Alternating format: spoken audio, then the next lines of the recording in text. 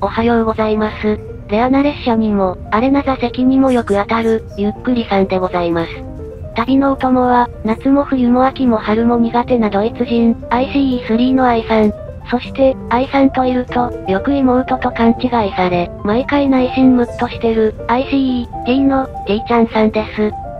私たちは、2021年末からフランスに乗り入れた、隣国イタリアの高速列車、フレッチャロッサに乗車中、朝7時半に、フランスの首都、パリを出発し、午後2時過ぎに、イタリア北部の都市、ミラノに着く長旅です。フランス南部への路線を受け持つ、パリのターミナル、リヨン駅を出発すると、間もなく右手には、多くの TGV が並ぶ、広大な車庫が見えてきました。リヨン駅からの距離は、およそ10キロ。ここには、フランス国鉄に所属する、正規の TGV、犬に始まり、格安列車ウイゴーや、スイス方面に走る専用車、リリアなど、色とりどりの TGV が並びます。少し前まで、1階建てタイプも多くいたそうですが、現在は、2階建ての、デュプレックスタイプが、大半を占めるようになりました。そんな車庫に、フランスを走るフレッチャロッサも曲がりして停車し、出発まで、しばしの休息をとっています。フレッチャロッサミッペは、TGV デュプレックスよりコンパクトな、1階建て車両です。しかし、派手な赤い塗装のおかげで、少数ながら、存在感を放っていました。なお、この車庫には、高速列車のほか、パリの周辺を走る、近郊電車も誘致され、メンテナンスセンターも併設されているようです。フレッチャロッサの次の停車駅は、フランス第2の都市、リヨンです。走行距離は約450キロと、東京から米原までに相当する長い距離を無停車で走行します。19世紀の前半、フランスで鉄道が実用化された頃から、早くもリヨンと首都パリとは鉄道で結ぶことが計画されました。そして19世紀半ばの1855年、ついにパリとリヨン、そして、フランス南岸の都市で、大きな港湾のある、マルセイユとを結ぶ、長い縦断路線が完成します。それ以来、ここは、フランスでも有数の幹線として、機能し続けています。走行距離が長いので、旅客列車はどの時代でも、常に、快適さと、所要時間の短縮が追求されてきました。現在、その集大成になっているのが、時速300キロで走行可能な、高速線です。パリを出発して、およそ15分ほど、列車は郊外に差し掛かり、周囲には、オフィスビルやアパートなど、大きな建築物が少なくなってきました。この辺りからフレッチャロッサは、一気に速度を上げていきます。ここは、LGV、南東線といい、フランスで初めて建設された、高速専用線です。信号や線路が時速200キロを大きく超える高速走行用に作られ、どの列車も一気にリヨンを目指します。路線の名称が南線ではなく南東線になっているのは、リヨンなどの都市が正確にはパリから南東方面に位置しているからです。この高速線は1981年に開通し、当時の東海道新幹線を大幅に上回る時速260キロで運転を開始。その後も許容速度が段階的に引き上げられ、現在はどの車両も時速300キロで走行します。この区間を走る TGV は、新幹線の速度記録を塗り替えながら改良したことから、フランスが世界初の高速鉄道に対抗した、とよく言われます。ですが、ここには別の理由もありました。もちろん、新幹線の存在は無視できないですけれど、それだけではなかったんです。フランスが高速線を建設し、TGV を登場させた最大の目的。それは、パリからリヨンまでの所要時間を大幅に短縮することでした。それまでここには、機関車一両で引っ張る、在来線の客車特急がありましたが、最高速度が150キロまでだったために、ノンストップ運転でも4時間もかかっていたのです。所要時間が長い点を活かして、車内ではフルコースがいただける食堂車や美容室といった豪華設備を備えた車両を連結。サービス面で航空機に対抗してきましたが、それよりも移動時間を短縮する声が強く望まれていました。これを、一気に2時間台まで縮めるために、時速260キロ、という数字が選択されたのです。現在の TGV は、時速300キロまで速度が引き上げられたことにより、最速運転では、2時間をわずかに切る、1時間57分で、両都市の間を走っています。もちろん、フレッチャロッサも、TGV と同じ所要時間で走行します。おかげで、首都と、フランス第2の都市の間は、現在鉄道が、圧倒的なシェアを占めています。しかしこの数字は、考えようによっては、あまり速くない、と感じる人もいるかと思います。パリ、リヨン間の高速列車は、東京から米原までに相当する距離を、途中ノンストップ。しかも最高速度は、東海道新幹線より速い、時速300キロです。なのに、途中で3駅に止まり、60キロも長く走る、東京、京都間の望みと、15分しか変わらないんです。平均時速で比べると、わずかながら、望みの方が速いことになってしまいます。なぜ、最高速度は勝っているのに、平均速度は低いのか。その答えは、窓の外にありました。パリからリヨンまでの高速線は、丘陵地帯に敷かれています。若干の切り通しはあるものの、トンネルを掘ったり、橋を通すほどの起伏ではないので、ほとんどの区間で、線路は地面に直接敷設されました。ただそのせいで、高速線は、丘に沿って、登ったり降りたりを繰り返す形になっていたのです。乗り心地がスムーズですし、山やトンネルがないことから、フランスの TGV は、ひたすら平らな土地を走っている、と思われがちですが、パリとリヨンの間には、結構なアップダウンがあります。最大勾配は、35%ミル。角度だけで比べれば、標準的な新幹線の2倍以上も急な勾配となり、やむを得ず急坂になってしまった、北陸新幹線の高崎、安中春名間よりも、坂がきついことになります。いくら、フレッチャロッサの車両や、最新の TGV が、力が強いと言っても、ここまでの急な上り坂では、速度を維持できません。最も長くて急な区間では、時速300キロ近くから160キロまで低下するそうです。ただし、こうなってしまうのは、もともと織り込み済み。ここは幸いなことに、延々と、長い上り坂が続くのではなく、比較的短い間隔で、アップダウンが繰り返される地形です。なので、速度が落ちた直後に、下り坂が現れます。そこで再び、時速300キロまで加速できるので、問題ありません。天井のモニターで、速度を見ていると、確かに、ずっと同じ速度では走らず、頻繁に速度が変化していました。しかしこのせいで、平均速度は落ち込み、途中停車駅のある、新幹線のぞみと、あまり変わらないペースになっていた、というわけなんです。のぞみで使われる N700 系シリーズは、最高速度こそ TGV に劣るけど、加速がものすごく速い点も、平均速度に大きく関わっているんだと思う。それにしても、急な上り坂があるとはいえ、このフレッチャロッサは、さっきから全速力で走っている感じがしないな。上限の時速300キロまで達することはあまりなく、だいたい260キロぐらいで巡航している。これで本当に時間通りに着くんだろうか。それなんですけどね。この区間は常に全力疾走しなければ、たちまち遅れてしまう、シビアなダイヤではなさそうなんです。もともとフランスの時刻表は、較的余裕のある時間設定をしていて、順調に走っていると、装着してしまうことも珍しくありません。その中でも特に、パリ、リヨン間は、一つの線路に、様々な列車が走行します。フランス国鉄の TGV から、新鋭のライバル、フレッチャロッサ、そして、格安列車のウイゴーが、しのぎを削る区間です。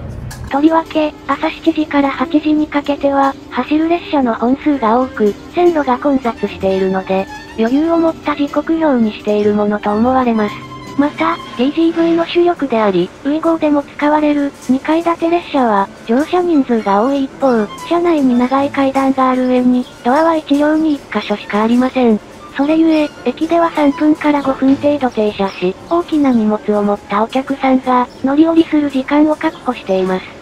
このフレッチャロッサは、乗降に、そこまでの時間は必要ありませんが、次のリヨンでは、5分間停車する予定です。ミラノからパリへ向かう、待機列車ですと、時間調整も兼ねているのか、到着から出発まで、15分もの時間が設けられていました。2021年の一番列車では、同乗していたメディアが、リヨンでの長い停車時間を利用して、車両を撮影したり、鉄道関係者に、インタビューをしていたそうです。それではこの辺りで、車内の様子もお伝えしましょう。以前、イタリア編でお伝えしましたが、今回僕たちが乗っている特別席、エグゼクティブクラスは、街中のレストラン顔負けの、充実したお食事サービスが自慢です。定番のイタリアン、パスタやラザニアはもちろんのこと、前菜からデザートまで、種類が豊富です。中には、ベジタリアンや、アレルギーに配慮したメニューもあり、多彩な組み合わせが可能でした。食事メニューとともに、ワインリストも配られて、朝から好みのワインとともに、コース料理を楽しめるようになっています。けれども、こうした手厚いサービスが実施されるのは、イタリア国内の幹線、ローマ、ミラノ間を中心とした区間のみ、飛行機の機内食のように、あらかじめ調理したものをカートで積み込み、車内では、温めと盛り付けのみを行うので、調理設備がない駅を発着するルートでは、提供が難しいからです。そのため、イタリア国内の路線であっても、豪華なサービスを受けられる場所は、限られていました。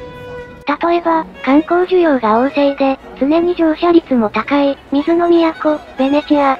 ここは、駅周辺に、調理設備がない上、停車駅の間隔が短く、お客さんの出入りが多い路線なせいか、エグゼクティブクラスは、シートサービスのみの提供でした。ところ変わって、新たに開業した国際路線のパリ線。この路線も、ベネチア線と同様、車内サービスは簡素化したもの。あっても、ドリンクとスナックの提供ぐらいだろう、と、勝手に思い込んでいました。ところが、出発して間もなくすると、各座席に、ドリンクと、お食事のメニューが配られます。どうやら、パリ線のエグゼクティブクラスでは、きちんとした食事サービスが提供されるようでした。一等席に相当する、ビジネスクラスですと、イタリア国内線と同じく、おしぼりとスナック、そして、ワンドリンクの提供が実施されています。僕たちが乗った時は、気温が高い、夏真っ盛りだったせいでしょうか。ミネラルウォーターも、無料で配られていました。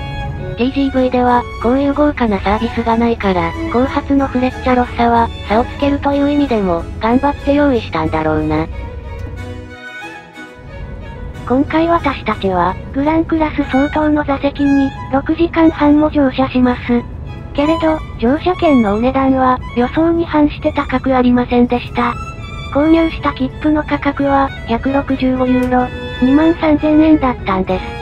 つまり、この列車の特別席は、終点まで6時間半も乗れる上、東北新幹線、はやぶさのグランクラスで、東京から、新青森まで乗るよりも、安いことになります。ただしこれは、たまたま安く売っているチケットが取れたからでした。フレッチャロッサの切符は、新幹線と違い、価格が一定ではありません。飛行機のチケットと同じく、時期や需要に応じて、値段が変動するシステムが用いられています。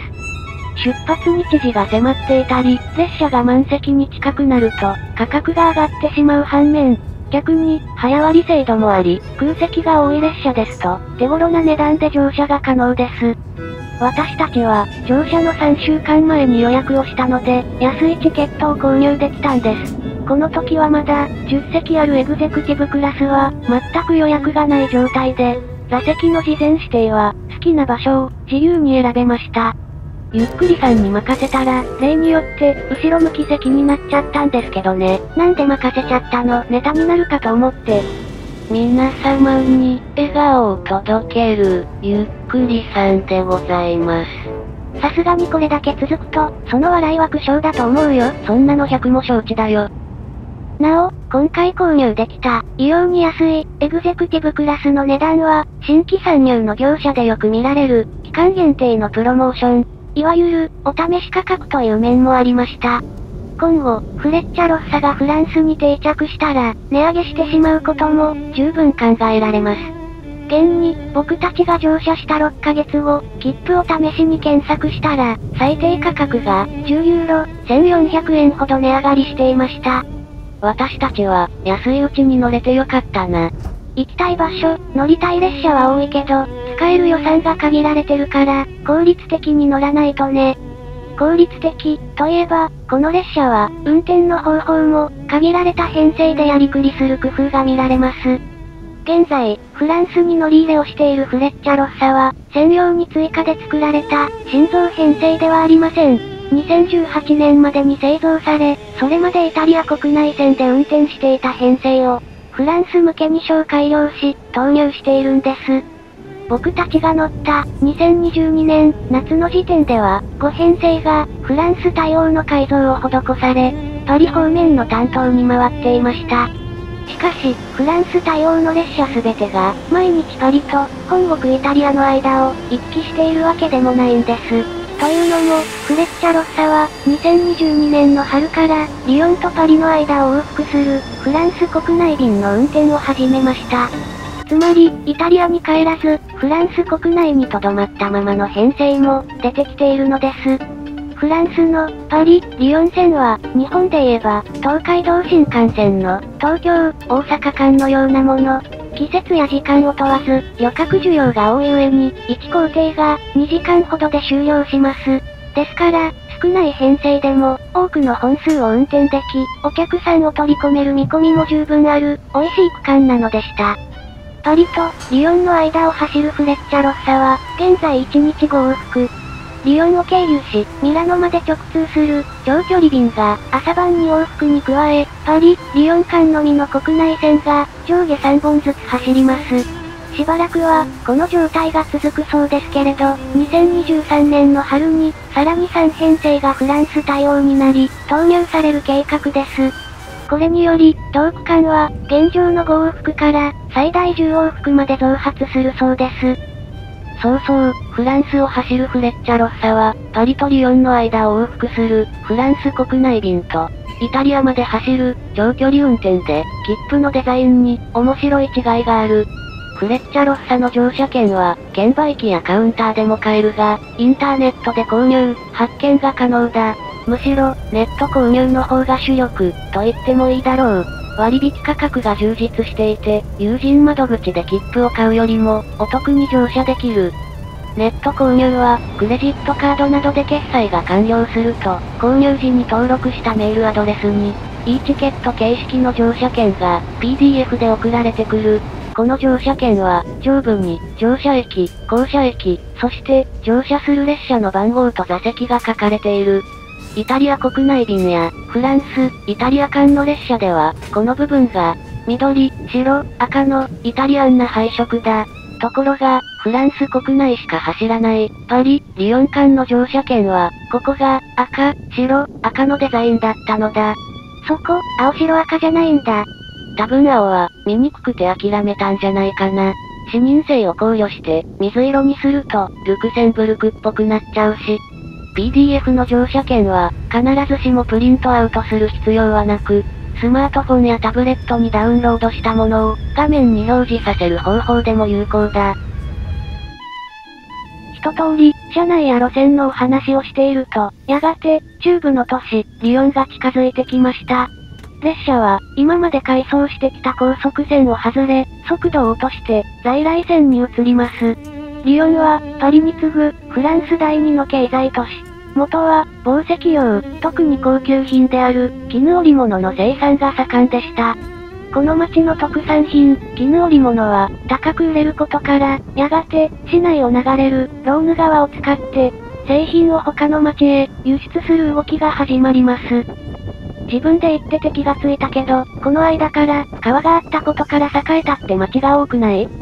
そりゃそうだ。内陸国や、地続きの地域が多いヨーロッパは、鉄道が生まれる前の時代、大量に物を運ぶには、川しかなかったんだよ。これがやがて、鉄道や道路に変わっていき、今の輸送形態になっている。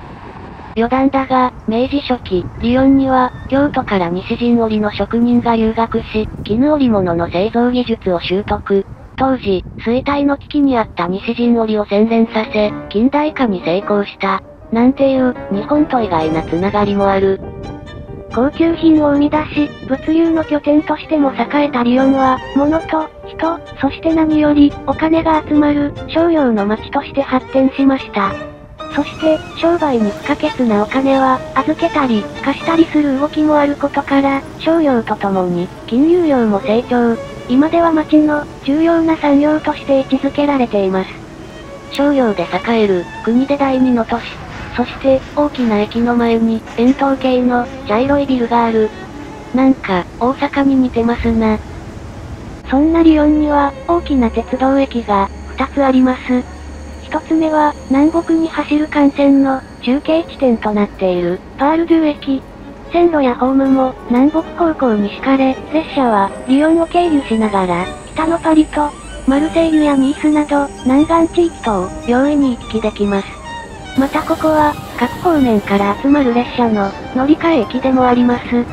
TGV は頻繁に連結と分割が行われ、その横では昔ながらの客車列車が停車。それらに加えて、最近は新型の電車も見かけるようになりました。スペイン鉄道の国際高速列車、アベも、ここパールドゥ駅が始発です。3年前、この駅を出発する、あの白い列車から、スペイン編が始まる予定だったんだよな。あの時は、波乱の幕開けだったね。いつか、再トライしよう。ですな。スペインも、最近いろんな新しい列車が出てきてるし、行きたいところが多すぎて、全然回れてないもんな。隣のポルトガルも、もう一度行きたい。思い出に浸るのはこれぐらいにして、リヨンにある、もう一つのターミナルを、ご紹介しましょう。リヨン付近の鉄道線は、パールドゥ駅が通る、南北方向の線路のほか、西へ分岐しながら、大きく J の字状に曲がる路線があります。この、西に向きを変えた先に、ペラーシュ駅、という、もう一つのターミナルがあるんです。ここは、市内を流れる、ローヌ川と、その支流、ソーヌ川が合流する部分に建設されています。実は、先ほどのパールドゥ駅は、1983年に新設された、比較的歴史の浅い駅です。それに対し、こちらのペラーシュ駅は、19世紀中頃、1855年に開業し、長い歴史を誇ります。二つの駅を見比べると、近代的なパールドゥ駅と、クラシックなペラーシュ駅と、全く違う年代に建てられたことが、わかるかと思います。歴史を感じさせる駅舎に、鉄骨の大屋根を持つ、ペラーシュ駅は、ヨーロピアンで素敵な雰囲気ですが、周辺の線形が不利なため、発着する列車の本数、利用者数は、後発のパールドゥ駅に対して劣勢です。おまけにあちらは、駅周辺でも再開発が進み、ビジネスセンターや、新しい商業施設が増えています。街の中心地としての役割も、新しい駅に取られ、なんとなく寂しくなってしまいましたが、古いペラーシュ駅は、折り返し駅としての機能が、まだ残されていました。TGV やフレッチャロッサは、パリから走り、リヨンを終点とする、中距離便も少なくありません。その場合、まずはパールドゥ駅で一旦止まり、大勢のお客さんを降ろした後、ペラーシュ駅まで5分ほどかけて移動し、終点とすることが多いんです。ここで、乗務員の交代や、車内サービス品の補充、そして、折り返し便として、再び出発するまでの時間を過ごします。なぜなら、今や都市の中心地となったパールドゥ駅は、発着する列車の数が多く、折り返し列車を長い時間ホームに留め置くことができません。ですから、ホームが比較的空いている、ペラーシュ駅まで走らせて、一時的な、車庫代わりにしているんです。ちなみに、パールドゥ駅で折り返す、スペイン駅のアベは、到着から再出発まで、1時間ほど間隔があります。この列車の場合、一旦パールドゥ駅に到着して、お客さんを降ろした後、すぐに付近の引き上げ線まで改装し、他の列車のために、ホームと線路を開けていました。なお、古いペラーシュ駅まで走行するのは、リヨンが終点の運用のみです。引き続き、南部方面へ行く TGV や、ミラノ行きのフレッチャロッサは、パールドゥ駅にのみ停車して、次の目的地へ向かいます。それでは、リヨンを離れる前に、この都市の面白い乗り物をご紹介しよう。リヨンの市内交通は、バスや路面電車のほか、4本の地下鉄がある。そのうちの3本、A、B、D 線は、鉄の車輪ではなく、ゴムタイヤで走る、フランスならではの構造が採用されている。ゴムタイヤ式の車両は、パリのメトロでも、おなじみですね。ところが C 線だけは、一般的な、鉄車輪方式だ。路線の長さも、わずか2.5キロと、とても短く、あまり存在感がないように思えてしまう。でもここは、何かと一癖ある国、フランス。この C 線にも、マニアならつい反応する、面白い構造が隠されていた。この地下鉄は、もともと、ケーブルカーだった路線を、電車に転換した路線です。ケーブルカーは、車両に個別の動力を持たず、頂上から、ワイヤーロープで引っ張ってもらう仕組みです。おかげで、通常の電車では走行不可能な、急な坂も、難なく登れる反面、致命的な欠点もありました。一般的なケーブルカーは、一つのケーブルの両端に、車両をそれぞれ結びつけ、互い違いに上り下りする仕組みです。ですので、走行できる車両は、最大2両までとなり、路線の延伸がほぼ不可能。さらに構造上、一本の線路に、複数の車両を、独立して走らせることが難しく、頻繁な運転ができないのです。こうした欠点を解消すべく、通常の電車への置き換えが計画されたのですが、坂がきつく、通常の車両では、車輪が空回りしてしまいます。そこで考え出されたのは、ラックレールを用いる方法でした。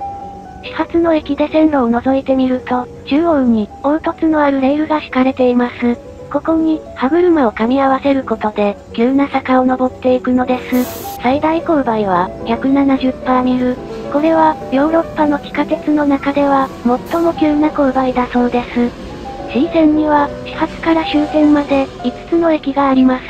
そのうち、ふもと川の始発から、3つ目の駅過ぎまでに、ラックレールがあり、小さな2両編成の電車が、地下鉄とは思えない急勾配を、力強く登っていきます。さて、リヨンを出発したフレッチャロッサも、これから山越えの区間に差し掛かります。パリからリヨンまで、南北方向に走ってきた列車は、次第に東のイタリアへと、向きを変えていくことでしょう。ところで前回、パリを出発した時、フレッチャロッサの車内が、ほぼ満席だったことをお話ししました。このことに関して、何人かの方から、リヨンで降りるお客さんが、相当数いるのではないか、とのコメントをいただきました。実際、2021年12月に運転を開始した、パリ、ミラノ間の一番列車では、パリと、リヨンの間だけが満席で、他の区間は、空席が目立っていたそうです。この情報を聞いていた僕たちは、この日もリヨンで、大勢のお客さんが降りてしまい、あとは空いている状態で、イタリアに向かうのだろうと思っていました。ところが予想に反して、車内はリヨンを過ぎても、満席のまま、先ほどの駅で、降りる人ももちろんいましたが、なんと、入れ替わりに乗車したお客さんがいたのです。実は、僕たちがフレッチャロッサに乗った日、フランス国鉄では、全国で、大規模なストライキが起きていました。近郊電車は、ほぼ全便が運転中止。高速列車、TGV は、多少状況が良いものの、国鉄の列車である以上、影響は避けられず、2割程度が運休していました。もしかしたら、フレッチャロッサが満席だったのは、TGV に乗る予定だった人が、振り替えで乗ってきたのかもな。可能性は、十分にあるね。そして、ストライキの影響は、本来無関係なはずの、イタリアの列車にも、及んでいたのです。その様子は、せっかくですから、次回にお話ししますね。それでは、次の動画をお楽しみに。ここまで見てくださり、ありがとうございました。私が旅に加わった途端、ストライキ発動とか、自分で自分が怖くなってきた。